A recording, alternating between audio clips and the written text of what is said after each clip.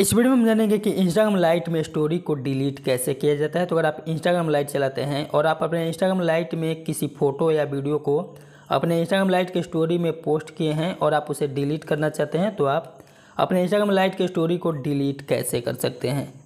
तो Instagram lite story को delete करने के लिए सबसे पहले आपको अपना इंस्टाग्राम लाइट अप्लीकेशन ओपन कर लेना है। और ओपन करने के बाद यहाँ पर आपको ऊपर योर स्टोरी मिलेगा तो आपको योर स्टोरी पर क्लिक करना है।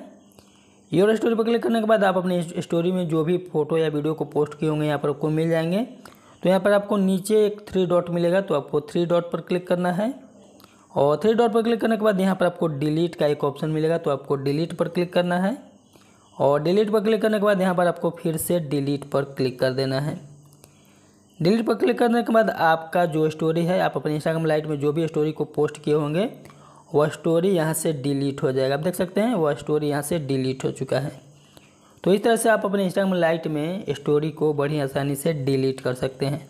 तो वीडियो अच्छा लगा हो तो वीडियो को लाइक कीजिएगा और आप हमारे चैनल को सब्सक्राइब कर लीजिएगा।